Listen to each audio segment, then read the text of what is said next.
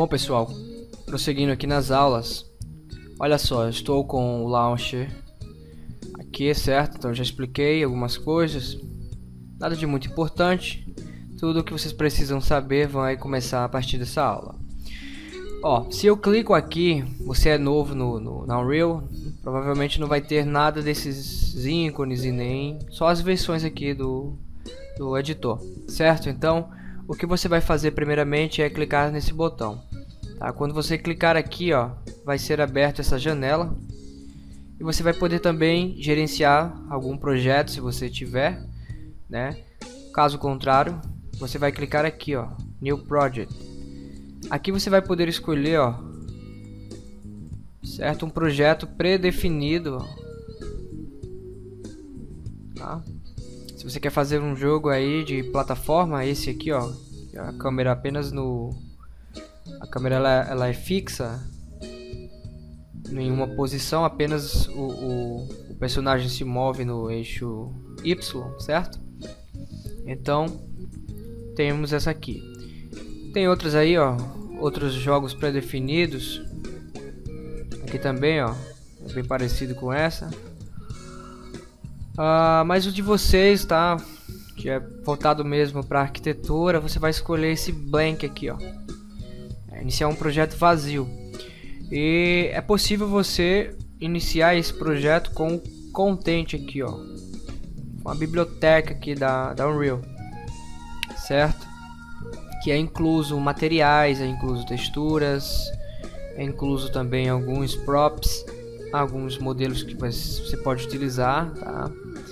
É interessante você iniciar, vai ter algumas texturas para com resoluções bem legais, tá? dá para você já utilizar. Tá? Mas se você mesmo quer criar um projeto totalmente vazio, iniciar vazio e exportar suas próprias texturas, bibliotecas e tudo mais, você, ó, pode deixar aqui, ó. Tá? Tirar o, o content aqui, ó. Tá? Isso aí. Você pode escolher... Ah, eu aconselho sempre a deixar aqui mesmo. Aqui você vai escolher, ó, se quer trabalhar para o console, né? Desktop ou mobile. Certo? Aqui você vai colocar o nome do teu projeto, na verdade aqui o local onde ele vai ficar salvo aí no teu computador e aqui o nome do projeto, tá? Em seguida você aperta em criar projeto. Em seguida você aperta aqui, ó, criar projeto, tá? Bom, é bem simples isso, não tem muito o que explicar aqui. Clica blank e nomeia, é, escolhe o local, você pode tirar o content ou deixar, se preferir, e criar projeto, certo?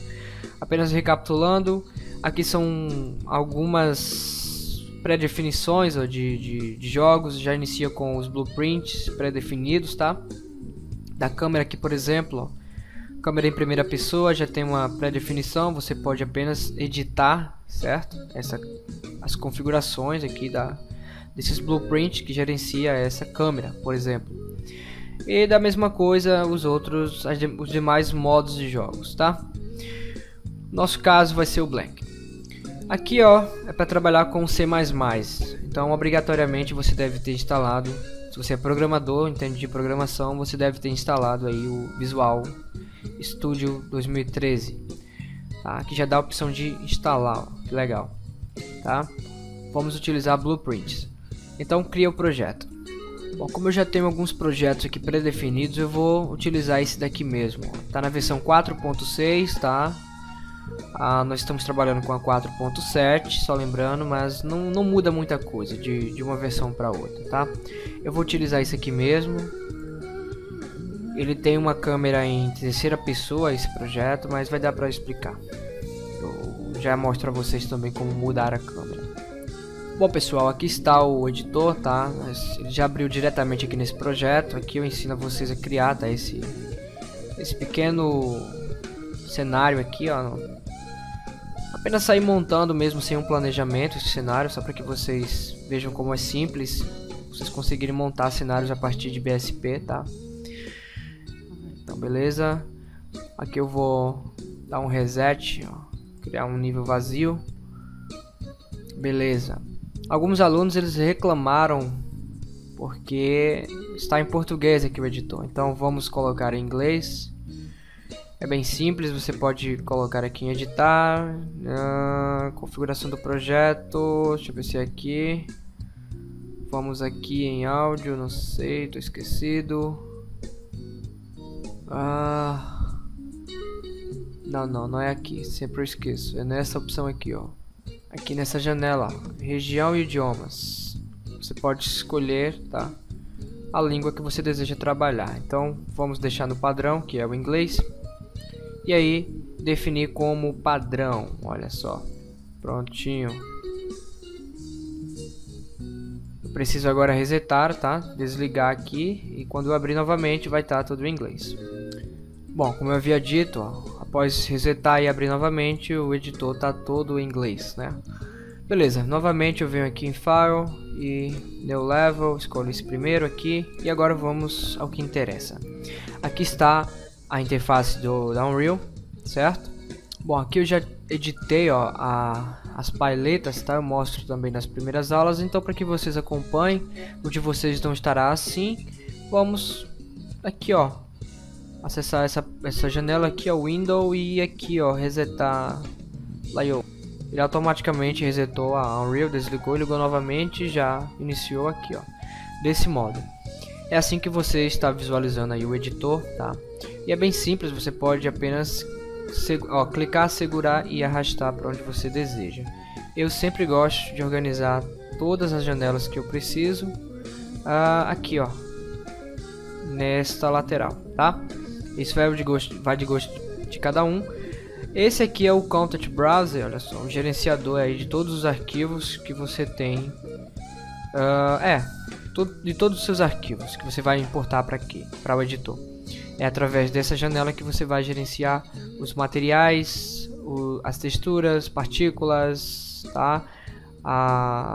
os ativos que você, alguns de vocês chamam de biblioteca, né? Os modelos, tá? Uh, você pode deixar ele por algum canto aqui, ó. Eu particularmente gosto de, de usar ele livre, ó, livre pra, pelo editor, tá? Se você trabalha com dois monitores ou mais, então é ideal. Você pode trabalhar apenas com o background aqui, ó, totalmente livre e no outro monitor com as, essas janelas, tá? Vai facilitar bastante. Para você expandir a tela é só apertar o F11, tá? Você consegue mexer aqui, ó, navegar pelo na, pelo pela essa viewport aqui, ó, com o mouse, com a tecla direita do mouse você faz esse movimento aqui, ó. Com a tecla esquerda você caminha pelo cenário, olha, com a câmera, certo? Com os dois botões pressionados você faz esse movimento, é bem parecido, é, não é parecido não, é como se fosse um pan. Com a bolinha do mouse, pronto, esse aqui é o mesmo movimento de que com os dois, dois botões, certo? Então, aí você consegue mexer aí pelo cenário, certo? Utilizando aqui esse, esse aqui é uma static mesh, é um BSP, deixa eu ver. É um static mesh. Bom, quando você seleciona algum ativo no teu cenário, e se você apertar o F, ó, por exemplo, ele enquadra no, no objeto, certo? Olha só. Para você fazer esse movimento é só você pressionar o Alt e é, com a, o, o botão do mouse, né, o esquerdo, você vai conseguir, ó, tá? Girar em torno do objeto, certo? Ok. É, esse aqui é o pivô. Através disso aqui você vai conseguir gerenciar o, todos os ativos, mover. A ferramenta bem conhecida em todos os softwares, né? O gizmo pode ser também chamado, pode ser chamado também de widget Tá? Eu explico depois sobre essa ferramenta, mas basicamente é para você mover os objetos aí pelos cenários, tá? Ó. O editor esse aqui, Unreal, ela trabalha com o sistema de coordenadas Z-Up, ó. O Z apontando para cima, diferente do, do Maya, por exemplo. Por que eu citei o Maya? Porque a Autodesk ela tem uma total, é, como eu posso dizer, conexão com o editor. Tá? Você consegue interagir com através do FBX, né, que é o exportador de malhas estáticas, materiais, na verdade malhas estáticas, tudo bem? Falei material porque é possível você importar o material lá configurado do Max ou do Maya aqui para dentro do editor, tá? Eu explico também isso em uma próxima aula. Uh, então, ZUp, uh, da mesma forma o Max trabalha com o ZUp, é o sistema de coordenadas. O Max com o editor esse, eles têm a mesma, mesma escala de medidas, tá? Unidades de medidas. E aqui nós temos essa grade que podemos conferir, ó. O snap size aqui, ó, vai de 1 a 10 mil. Para você trabalhar com precisão aí, quando estiver montando o cenário, eu explico também melhor na próxima aula, em uma próxima aula, tá?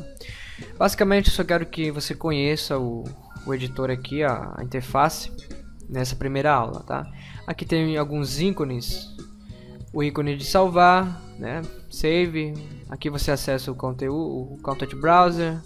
Aqui você acessa aquele aquele launcher, né? Ó só. Tudo bem? Já expliquei aqui só o, o quando você faz o download lá do, do faz o cadastro, você vai baixar esse launcher e você vai conseguir ó, comprar ativos, partículas, materiais e tudo mais. Aqui você gerencia também os seus projetos. Aqui tem as versões da, do, do Unreal, né, do editor. A de vocês vai ser a 4.6, 4.5, não sei. É só você atualizar. É, frequentemente chegam atualizações aí para o editor. Tá? Acredito que é possível você baixar outras versões clicando aqui, ó. Tá? é diversos.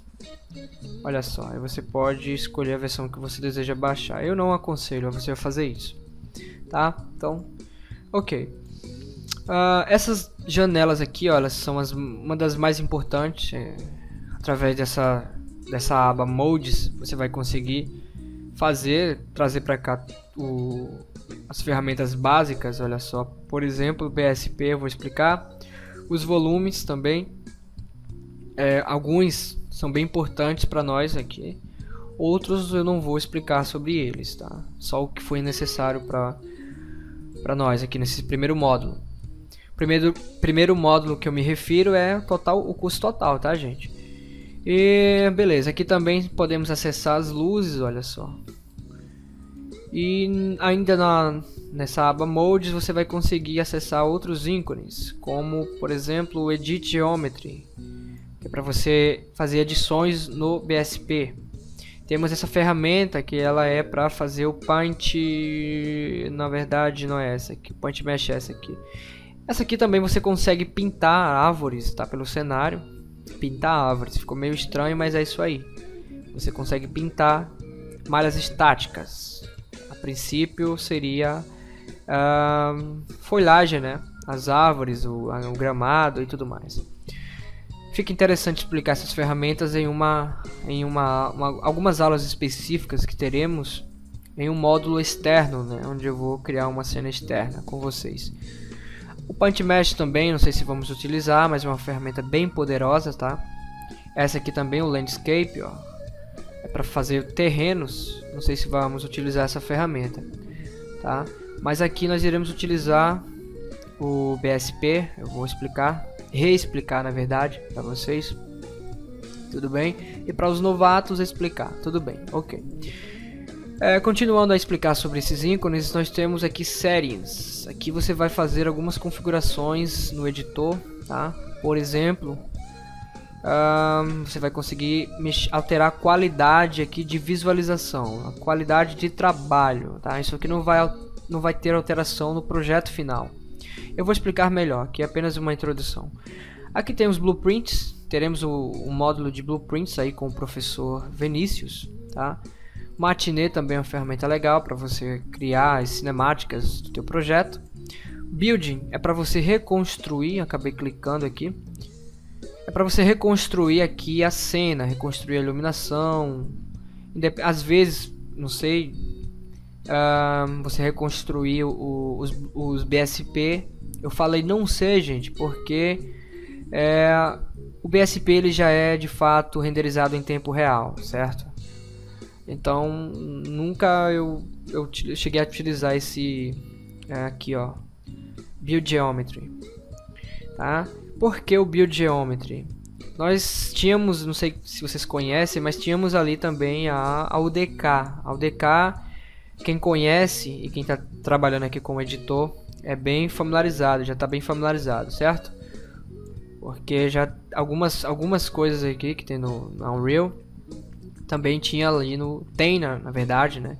Ainda existe o, o algumas pessoas trabalham com essa ferramenta Porém, ela de fato é mais voltada para games, ela não tem uma qualidade assim como a Unreal tem, tá? Aqui nós temos um editor de última geração e que está cada dia progredindo, né, melhorando cada vez e cada vez e cada vez mais. Ó, aqui nós temos o play, clicando aqui você consegue, ó, tá? Testar o teu projeto. Aqui nós temos uma câmera em terceira pessoa, né? Ela foi definida ali naquele primeiro momento, ali onde eu mostrei para vocês, onde você, você pode escolher o projeto e em seguida criar, né? E você pode também mudar essa câmera clicando, deixa eu ver, tô esquecido. Tá, não é aqui, é aqui, ó, Blueprints. Uh, game Mode, aqui nessa opção você vem e altera o modo de câmera que você quer visualizar. Aqui nós temos o nosso uh, Game Mode, eu acho que é esse. Se clicarmos aqui, ó, a câmera vai ficar em primeira pessoa, modo de visualização, ó, certo?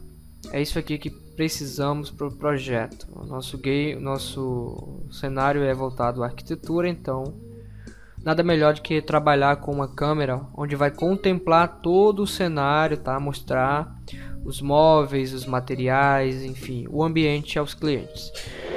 É isso aí. Esse launch aqui é para você, uh, acredito que é para testar o projeto numa tela independente, que não seja aqui no editor. Deixa eu só verificar. É, na verdade esse launch aqui ele vai mais além, eu explico em uma próxima aula. Bom gente, eu continuo explicando as ferramentas na próxima aula, certo? Vou falar sobre pouco mais sobre aqui o, o pivô, tá? Sobre essas ferramentas e essas outras aqui. Então até a próxima aula e até mais.